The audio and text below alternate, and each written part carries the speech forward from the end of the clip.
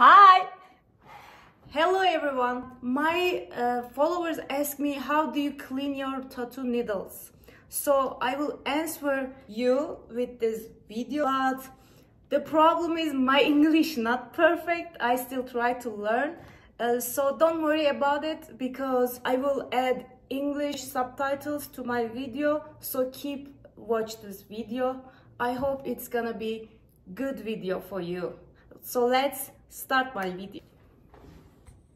Evet, videoma başlamadan önce size neye ihtiyacınız olduğunu göstermek istiyorum.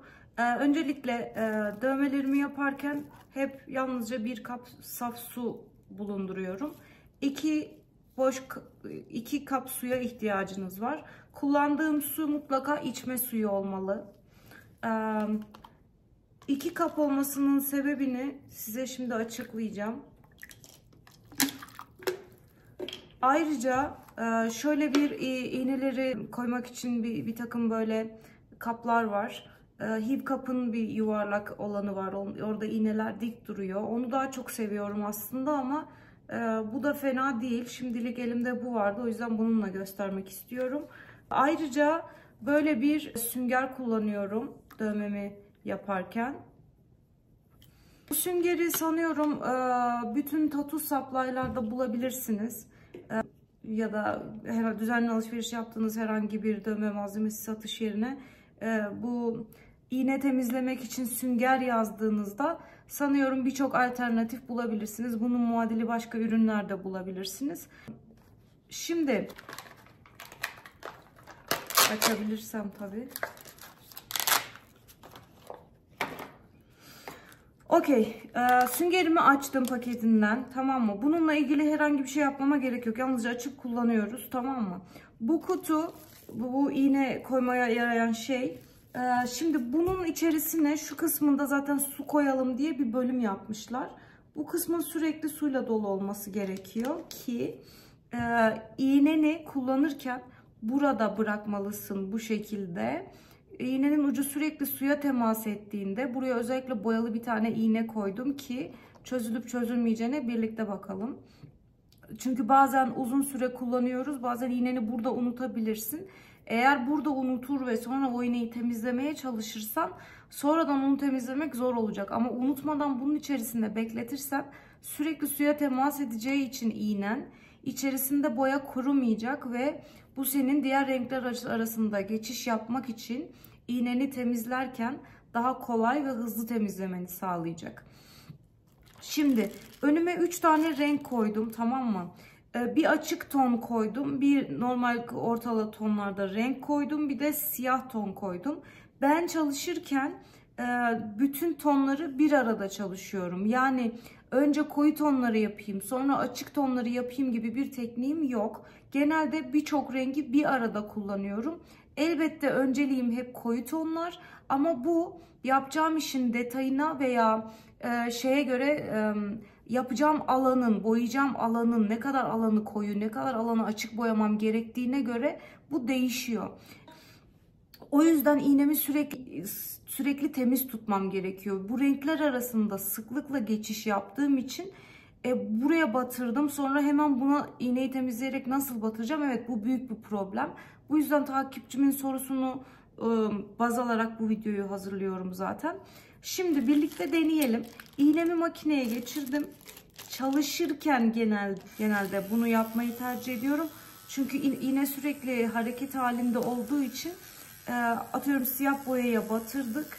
Sonra birinci kap koyu tonlar için birinci kaptan sonra bir kez ikinci kaba geçip gördüğünüz gibi bu en kirlisi oldu. Bu daha temiz bir su oldu.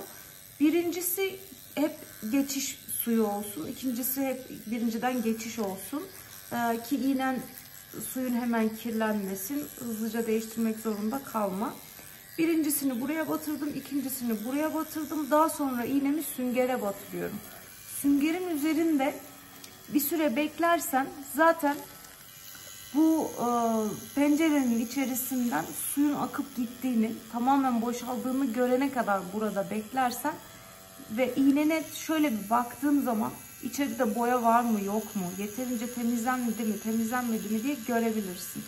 Aynı zamanda diyelim ki bu başka bir renge, renge geçtim diyelim. Bu renge geçtim. Bu rengi bir süre kullandım. Bir süre kullandıktan sonra doğal olarak iğnenin şu plastik kısmında bu boya bir süre kuruyacak. Şu an yaptığım gibi hemen kolayca temizlenmeyecek.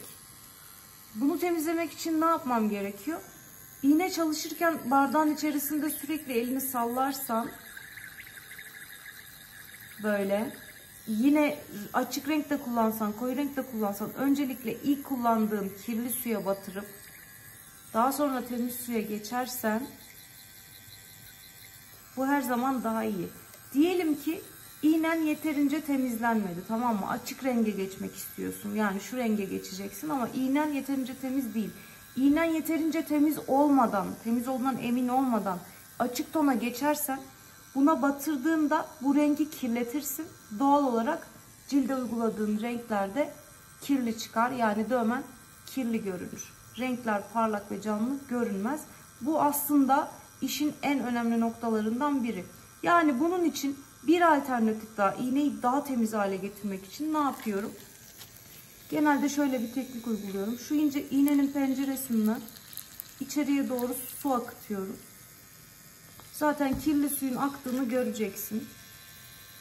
Sonra tekrar süngere sürterek ama hep bu yönde sürtmeye dikkat et. Çünkü bu yöne gidemez. Bu yön batması demek. Böyle yapmaya devam edersen iğne batmayacaktır. Ve çok dikkatli bir şekilde ama iğnene zarar vermeden böyle geriye doğru hareketler yaparsan iğnenin zaten temizlendiğini göreceksin. Bazen bu da yeterli olmuyor. Tamam mı? İğneni kapat. Makineni kapat. Dikkatli bir şekilde iğnenin etrafını böyle temizlemeye başla. Sonra eğer iğnenin tamamen temiz olduğunu görmek istiyorsan şöyle çıkarıp bir kontrol et. Her şeyin yolunda olduğundan emin ol. Bakıyorum her şey iyi. Tekrar tak. Artık açık bir tona geçmek için iğnem temiz demektir. Geçebilirim. Sonra eğer bu, bu su çok kirliyse bu suyu mutlaka değiştir. Bu iğneyi tekrar o kirli sudan temiz suya batırma. Çünkü kirliden zaten geçeceği için iğneni yine temizlemen zor olabilir. O yüzden temiz suya batır. Sonra yenilediğin diğer temiz suya batır. Bundan sonra kullanacağın renkler sıklıkla renk veya açık renk tonları olacaksa özellikle siyahla kirlenmemiş bir su kullandığından emin ol. Tekrar getir. Tekrar bu şekilde devam edebilirsin. Şimdi burada önemli olan şu. Diyelim ki iğnenin hala temiz olduğundan emin değilsin tamam mı? Yeterince iyi temizlediğini düşünmüyorsun. Mesela şöyle örnek göstereyim. Bu iğne mesela uzun süre bekledi. Etrafında hala boyalar var. Bu içerisinde kuruduğu için bunu artık temizleme şansın yoksa ve bu hareketleri yapmana rağmen iğnenin içerisinde hala boya görüyorsan kesinlikle açık tonları bu iğneyle kullanmaya devam etme. Bu iğneyi kaldırıp at veya bu iğneyi koyu tonlar için kullanmaya devam et. Kendine yeni bir iğne aç ve yeni bir iğne ile açık tonları uygulamaya başla. Kesinlikle bununla devam etme. Çünkü sen bunu boyanın kuru olduğuna güvenip tekrar açık tona batırsan bile bir süre sonra içerisindeki koyu boya, kuru, kuruyan boya e, yumuşam, yumuşamaya devam edecek ve içerisindeki koyu rengi bu açık rengin içerisine akıtacak. Bu da senin rengini kirletmene sebep olacak. Evet. E, bu kadar. Şimdi kamerayı çevirelim. Okay. Um, Bu videoda size iğnelerimi nasıl çalışırken nasıl temizlediğimi göstermeye çalıştım. Umarım yararlı olmuştur. Lütfen e, videomu beğenip yorum atıp paylaşmayı unutmayın. Aynı zamanda abone olmayı unutmayın. Umarım yararlı olmuştur. Hepinize teşekkür ederim. Böyle sorularınız varsa benimle paylaşmayı unutmayın. Bunlarla yeni içerikler üretebilirim. Hepinizi seviyorum. Hoşçakalın.